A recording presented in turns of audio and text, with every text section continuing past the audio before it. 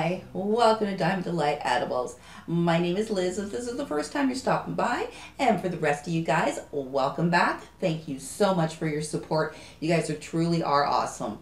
So today, normally I usually do sweet things, sweet uh, big things or candies, but today I'm going to show you how to make a canna French bread. That's right, it's really easy, and we make this with canna flour. So if you haven't seen the video on how to make canna flour, there's two ways. I do have a video, bleh, I do have a video on it, two ways of how to do it with tincture and with bud. So check those out on how to do up the canna flour. Other than that, we're going to jump into those ingredients with the equipment that we need and we're let's uh let's get baked. All right, so for our ingredients, what you're going to need is three or sorry, two and three quarters cups of all-purpose or bread flour. You can use either and I'm using a quarter cup of canna flour. So it needs to be three cups of flour. However, you want to split that up, that's totally up to you. But that's how I, I generally like quarter cup is a generally good amount for pretty much everything that I make. So that's how I'm making up my three cups. Then you're going to want about an additional cup of just all-purpose or the bread flour that we may need to add in um, to, to uh, stiffen up our dough and for uh, possibly kneading. Then you're going to need one and a quarter cups of water, tepid water. It needs to be between 120 and 130 degrees. That's what activates um, your yeast. You go want one package of the quick um, of the quick rise yeast.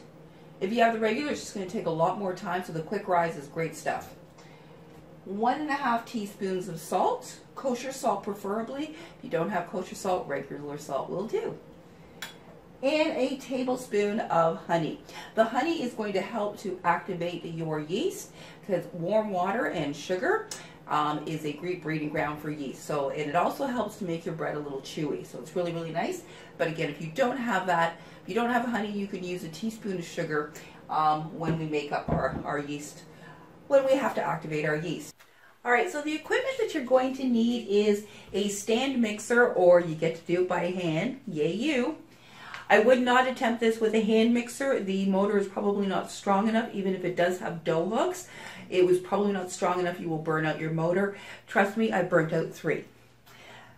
Uh, so as I said, stand mixer with the dough hook or by hand. Um, some non-stick cooking spray or some uh, vegetable oil, just oil a bowl. You're going to need two bowls, one for your uh, machine and another one to rise your dough in, we're going to need some parchment paper. You're going to need two quarter sheets or one half um, one half sheet baking sheet, um, and then lined with parchment paper, and then a smaller pan that we're going to use to hold some water. You're going to need a, a, a dough cutter, dough cutter, a whisk, spatula, and a serrated knife and a couple of tea towels, whether they they need to either be linen or cotton, not terry cloth, because otherwise you will have little spit, little bits of stuff stuck in your bread, and we don't want that. So yeah, so either cotton or linen will work great, or um, you can use paper towel again as long as it's not a fuzzy kind. And that's it for the equipment. So let's jump right into those ingredients and let's make some bread. All right, so the first thing I'm going to do is I'm going to heat up my water in the microwave for about 30 seconds. I said we need it between 120 130 degrees Fahrenheit. All right, so the very first thing we need to do, as I said, activate our yeast. So you're going to pour your um, tepid water, your 120, 130 degree Fahrenheit water into a bowl. And we're going to add in our tablespoon of honey. And just stir it around until that dissolves. And then you're going to sprinkle your yeast evenly over your water and honey mixture. Like so. And just give her a stir up. Just get any of the stuff off the sides. And we're going to set that aside for about 10 minutes. Okay, so your yeast should be looking like this. Should be foamy and kind of beige. And if it's not foamy, then it means that your yeast is um, no longer live. So you need to go get yourself some new yeast. Um, uh, yeah, because otherwise you're just going to have flat bread. Not good. So we're going to take this and we are going to dump it into our flour. grab our spatula, make sure to get it all the yeast out. Likes to stick to the sides. And we are going to attach the dough hook. And we are going to knead this on low speed until our dough all comes together and starts to all pull away from the sides. And um, yeah, and we will probably have to add more flour as we go along. So just keep watching. And then you can just work your flour down off the sides here. Incorporate into the dough.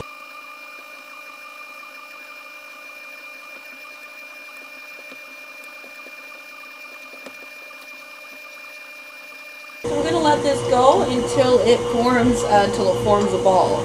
So as I said, if it gets starts to get sticky and dough starts to stick to the sides of the bowl or the bottom, sprinkle in about a quarter cup of flour at a time. This batch doesn't look like it's going to need flour. Yay! Just to stop it and take it off the hook and then just let it finish let it finish kneading. So I'm to add a little bit of flour because it is a little bit sticky, but not bad at all. I'm just to sprinkle in that, that quarter cup. That should probably do it.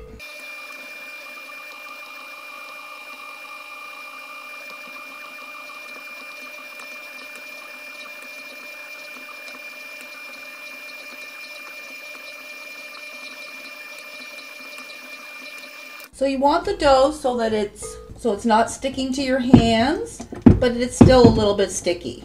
But you're not getting a lot of excess dough stuck to your hands like I was before. now we're just going to take this out and we're going to knead this for a little bit.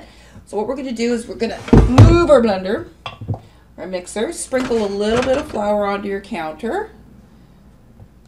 And we're going to knead this until it's nice and smooth and to knead, use the heel of your um, of your hand. You push in, push, fold it over, push down with the heel, fold over, push down with your heel. And you just keep doing that. And scoot, if you think you've got enough flour happening, uh, scoot the rest out of the way and just continue kneading until you get that nice supple ball. And we're going to knead this, as I said, till it comes together in a nice, in a nice ball. There's no like gappy pieces.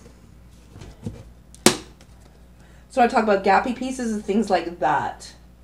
So you want to make sure it's nice and smooth.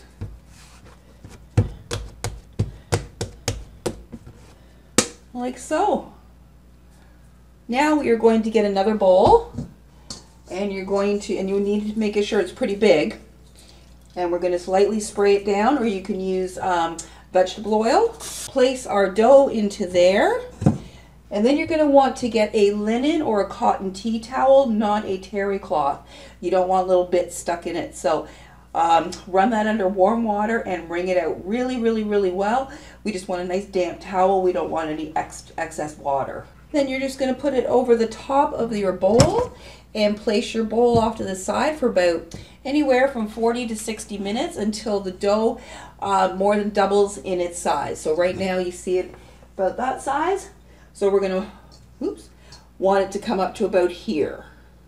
Let's put the top over. Warmest place usually in the kitchen is the top of your fridge um, yeah, on the top of your refrigerator because it's higher and you get the warmth off the fridge.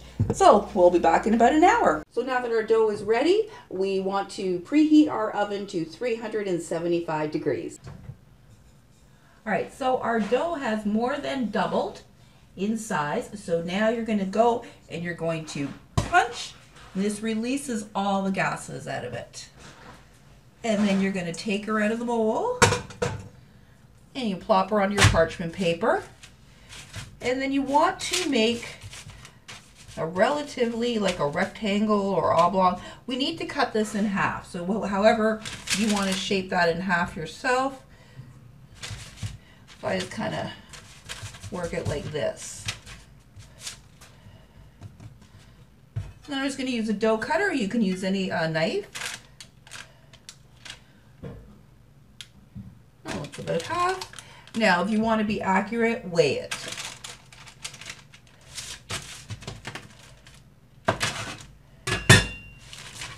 And then we are going to shape her. I'm going to put one over here. I'm going to fold it and kind of roll her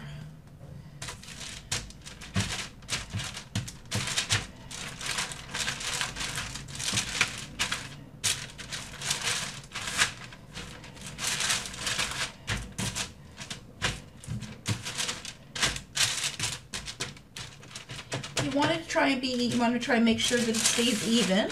Hope you can see that there.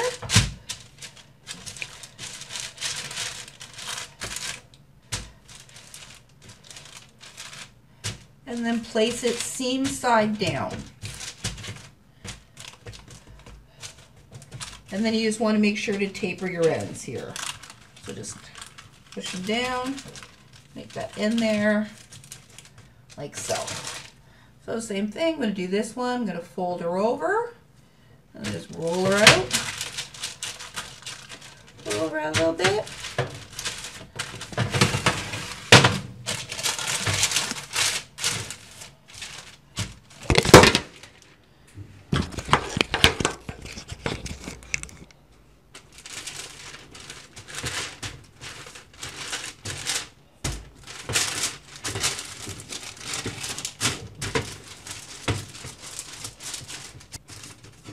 go, taper my ends. And now I'm just going to place a dry, uh, dry linen cloth over them for about 10 minutes. Just let them proof again and wait for our oven to preheat to 375. Okay, now here's the baking trick for you. Take a smaller metal pan, put it into the oven while on the bottom rack uh, while you're preheating your oven. You want the rack, you want the pan to be as hot as the oven is getting. And then what we're going to do is we're going to pour about a quarter cup of water onto that once our bread is ready to go into the oven. And this is going to create a steam bath in there for the bread, creating, locking in uh, the moisture and giving you that really nice soft bread inside. Okay, so I'm just going to have a quarter cup of water ready to go for when my bread's ready to go into the oven. All right, so now that our bread has proofed again, take your cloth off, and you're going to take a serrated edge knife, whether it's steak knife, any kind of serrated edge, and you're just going to make some diagonal cuts into your bread.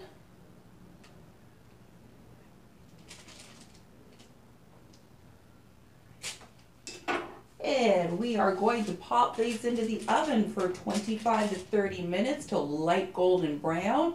Nice golden brown all over. And when I put this in, I'm going to throw that water onto that tray.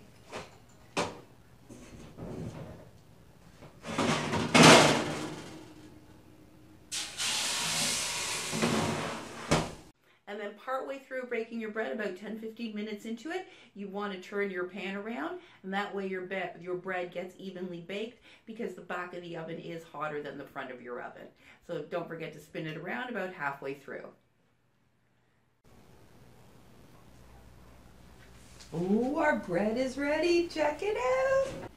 Look at that. Yum, yum. Now, what you can do if you like um, for but extra buttery flavor is to melt a little is melt a little bit of butter. And right after you take it out of the oven just give a light brushing of butter all over the top. And that will just soak in nicely.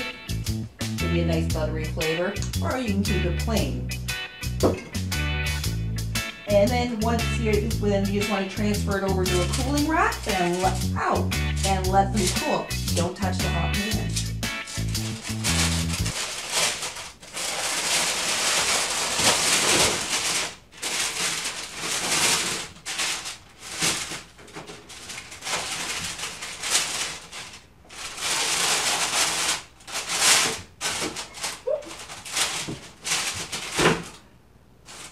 I'm just going to let those cool until uh, probably about 20 minutes, 20, so I'm just gonna let those cool for about 20, 30 minutes and then I'm gonna slice that up and dig into some mm, warm, tasty French bread. I cannot wait. So thank you so much for joining. So that was my little demonstration there for you on how to make canna flour French bread, and check that out. Oh my god, it looks so good. I cannot wait to slather some butter on this and just mow down. So, any questions or comments, please don't hesitate to leave them. As always, I just really want to thank you guys for your support. You really are amazing. I really, really do appreciate it. And I hope you have an awesome rest of your day. Thanks for joining.